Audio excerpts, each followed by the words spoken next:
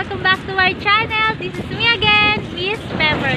And for today's video ay galalaog ulit tayo. So, ah, gagala ba yun? Gagala ulit tayo. So, samahan niyo ako.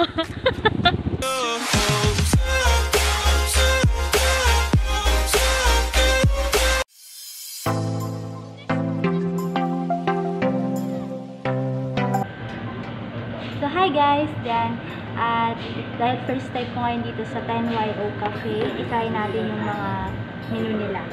Yung iba sa menu nila. So, let's start. Ma'am, ano pong size? May 12 ohms po. Tapos, ice caramel 12 ohms. Ano pa nga? Ah, baby back cream. Dami ka na. Beef bulgogi. Beef bulgogi. Gogi. Gogi. Then, ano pa ano sabi mo? California ma. Isa po siya ka 12 ohms, is caramel 12 ohms, isang back ribs, isang baby bulgogi, at saka California mat.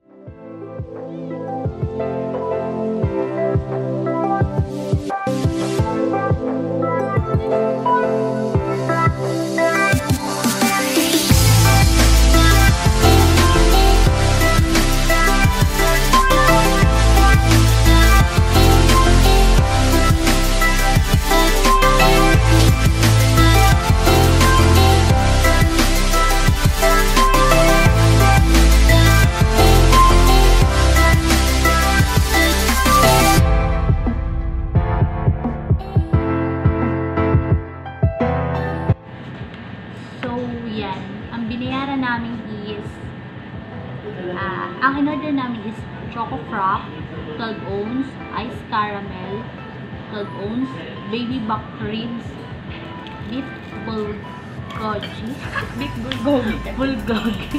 Ay, Bulgogi. bahala siya sa buhay niya. California Maki. Ayan, ah, ang total niya is 830 yun. Tingnan natin mamaya kung masarap. Or kung worth it ba yung ah, presyo ng menu. Ah, tama ba? Yung presyo ng bawat pagkain. Samahan nyo kami kumain. Dito sa 10YO Cafe. Ang problema mo dito, may chopstick pa ka magamit. Ah, wala. May chopstick sila, tapos hindi naman ako marunong gumamit. Ito kasing ano, 10YO is parang social talaga. Yun yung tipong yun, social. Me- medyo matataas talaga yung price ng mga pagkain nila dito. Maganda, pero maganda naman talaga yung place din. Kung gusto mo ng mga pang uh, Instagram photos din naman na shala-shala, yan, maganda naman talaga. Yun. Tapos, parang bago lang din to, siguro mga 2 years pa lang. Ha? one year. One year or two years, o mga ganun pa lang siguro.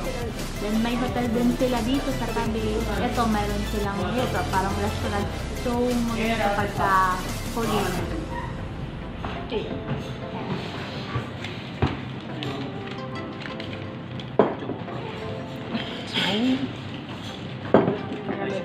Okay, thank you.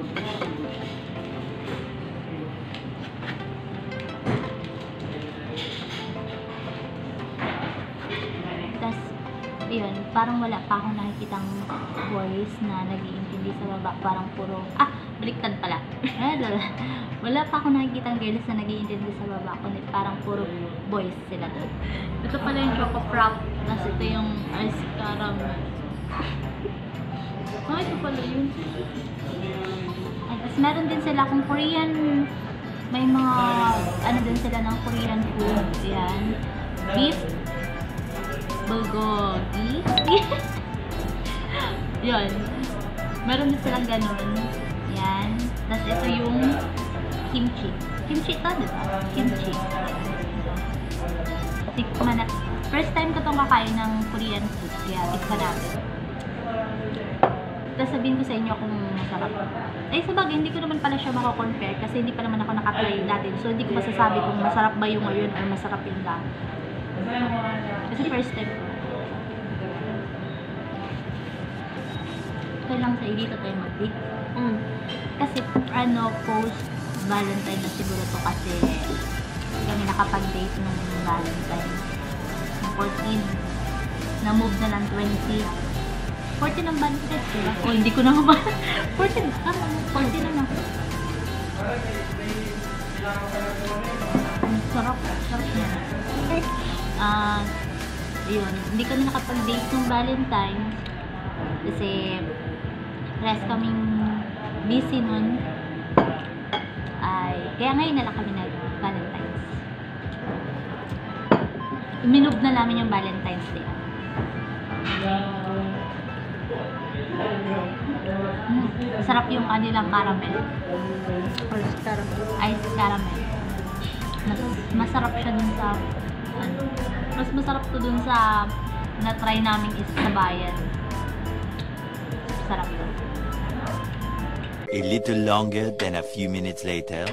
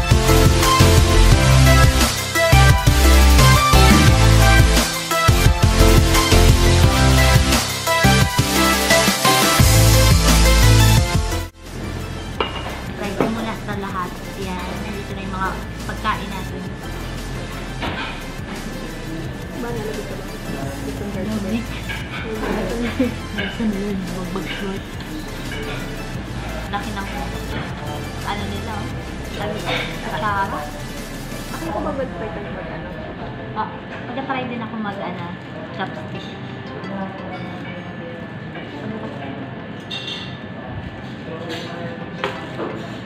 Labik. Try natin itong, ano to? Beef bulgogi. Beef. Yung bulgogi. Bulgogi.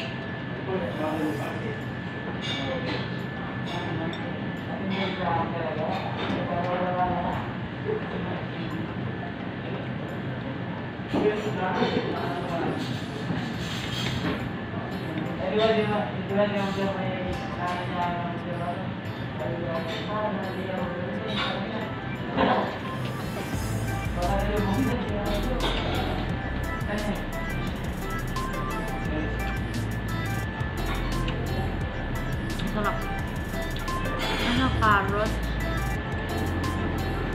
May beef. May beans. Bag beans. Hindi. Hindi ko sigurado kung ano to, pero parang beans. Beans ata to. Tapos, ano tawag dito ay? Sesame. Yun. Tapos, syempre, kanin. Yun yung beef bulgogi.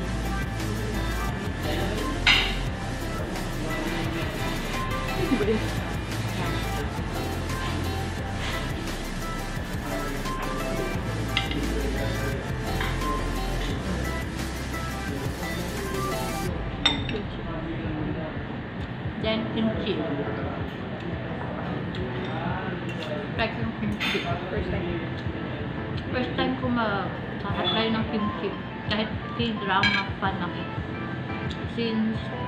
dito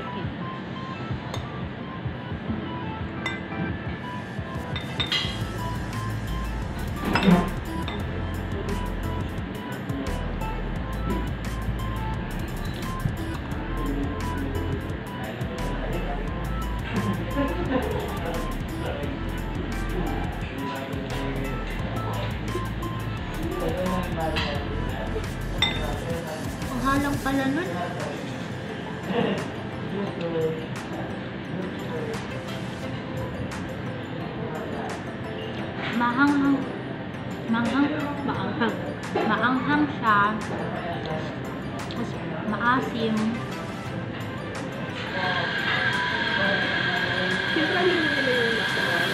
yun. Hmm, ganito pala lasa ng kimchi. Maanghang. Tapos yun, meron din siyang, ano, sana nadidinig niyo kung may nagagiling sa baba. Meron din siyang, ah, yun, alam niyo naman cab- cabbage, carrot, yun. Tapos yung mga langhang niya na nakalagay pa. Hanghang. Pero konti. Next. Next natin is next natin is ito. Ito yung anong tawag ito? Baby back uh, ribs. Baby back ribs. Masarap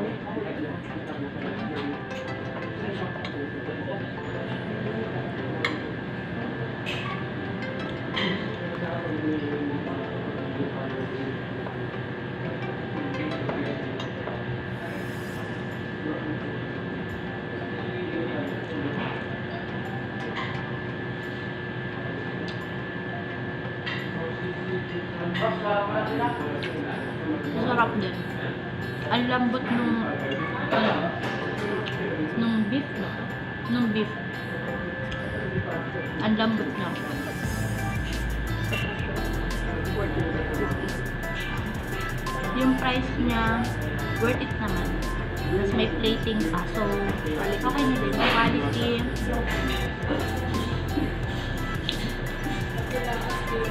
Quality. Good.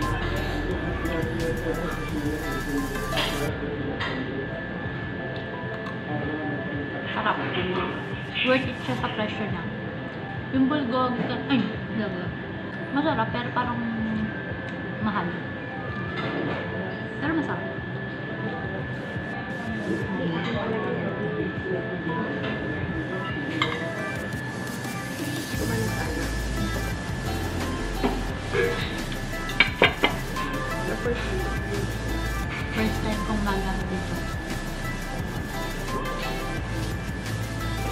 Kailangan mag-aral ako nito para pag nagpunta akong Korea, magkita kami ni Lee Min hindi ako mapapahiya.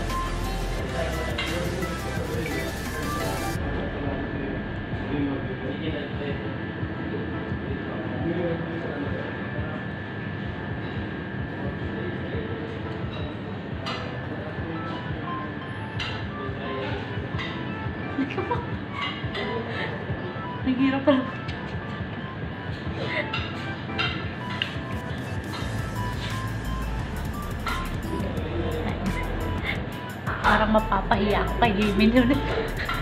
okay na ako tanggapin ni Ho.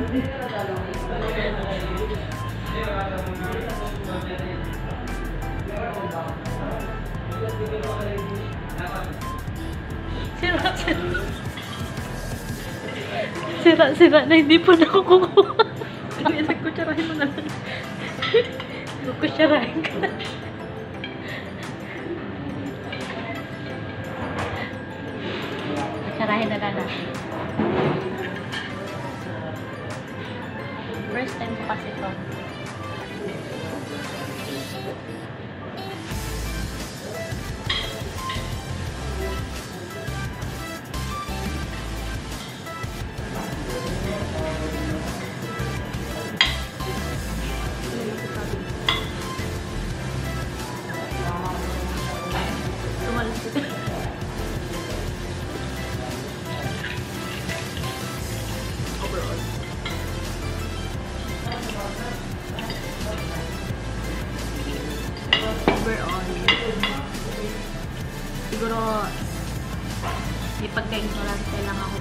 Ma-appreciate yung, ang tawag ko? Ah, California. California Maki. First time. Kasi first time ko siguro kaya hindi ko siya masyadong ma-appreciate. Sobrang bihira lang kasi nung nagatinda dito yun. Yun. Kaya hindi ko siya ganun kat trip. Pero dahil K-drama fan ako. Gusto ko, ito, isa to sa mga gusto ko talagang ma-try. Hindi ko lang siya bet. For now, mali mo naman, mga, yung ibang ano. So, dito tayo sa beef. Yung iba kasi, kahit malayo to sa bahay, ay, sa, sa bayan, dinadayo talaga siya kasi masarap tapos maganda din yung place.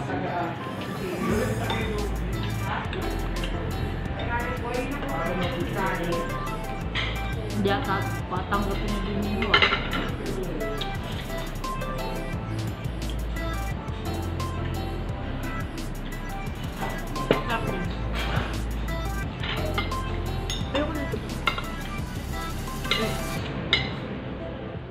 So guys, ayan, nakauwi na kami at yun, nag-take out na lang kami nung para kay nanay. Tapos, tinake out ko na din yung, yung hindi ko bet kanina, yung California Maki. Uh, inuwi ko na lang siya para hindi naman masayang. Hindi ko siya bet kasi hindi ako pa, ay hindi, ka, siguro kasi kakatry ko lang ng ganong food kahit lagi ako nanonood ng Korean gusto ko siyang i-try. Tapos ngayon na-try ko na parang bago sa panlasa ko. Kaya siguro hindi ko pa siya gan ka gusto. Mali mo sa second time. Mamaya, tikman ko ulit. Magustuhan ko na sa pangalawa. Siyempre, bigyan ko naman ng chance yun. Charot. Tapos, yun. And overall, ang rate ko sa kanya is 4 over 5. Malinis yung pagka malinis yung pagkaka-prepare ng pagkain, may plating pat, then masarap, maganda yung place, malamig, ayan, maganda talaga yung place. Tapos, ah, bakit hindi siya ah, full na 5 dahil hindi naman lahat ng place ganun ka-perfect. So, sh- kaya hindi rin perfect score. yung ganun. Gets mo yan? 4 over 5 siya dahil ano, hindi ko siya ma-full na 5 dahil ang layo niya sa bayan kahit maganda yung place niya. Nadayo naman siya. Talagang kanina daming nakain dun sa baba. Pero, yun, malayo siya sa bayan. So, kung ikaw ay, ano, yung commuters ka, mag magadoble ka pa ng simula sa inyo, tapos simula sa bayan hanggang sa, ano, magdadalawang sakay ka pa. Yun. Pero, all in all, maganda yung place, masarap yung pagkain. So, job. So guys, yan, abangan nyo ang next video ko. Don't forget to like, to share, and to subscribe and hit the notification bell para updated ka sa mga susunod ko pang video. Thank you!